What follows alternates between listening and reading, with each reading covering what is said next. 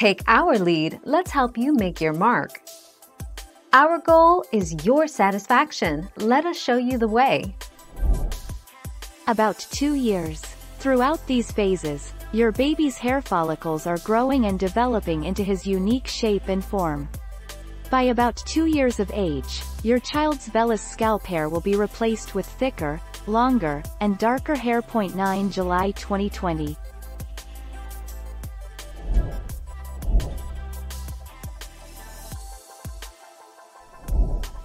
Take our lead.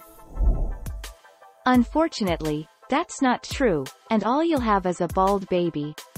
Hair texture and growth rate are determined by genetics, and the only time a person's hair will change is if they've had chemotherapy.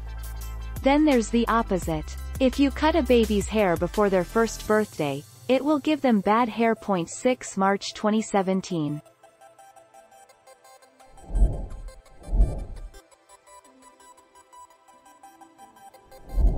Make your mark, take our lead. The follicles that grow while they're in the womb form a hair pattern they'll have for the rest of their lives. New follicles don't form after birth, so the follicles you have are the only ones you'll ever get. The hair is visible on your baby's head and may grow quickly or slowly during the weeks leading up to birth.